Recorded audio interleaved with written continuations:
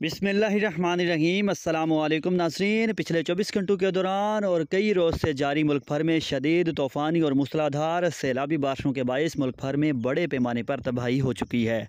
नासरीन, सिर्फ़ 24 घंटों के दौरान ही 200 से अढ़ाई सौ मिलीमीटर तक तूफ़ानी बारिशों के बायस शदीद मौसमी हालात, सैलाबी सूरत हाल फ़सलें मुकम्मल तौर पर तबाह होने और सैलाबी सूरत हाल के बायस मुल्क भर से बड़े पैमाने पर जानी और माली नुकसान की इतलात हैं। महकमे मौसमियात की तादाद रिपोर्ट के मुताबिक आने आने वाली मज़ीद छः से सात रोज़ के दौरान, यानी आज से सताईस, अट्ठाईस, उनतीस और तीस, इकतीस जुलाई, यकम दो अगस्त तक, मुल्क के बेशतर इलाकों,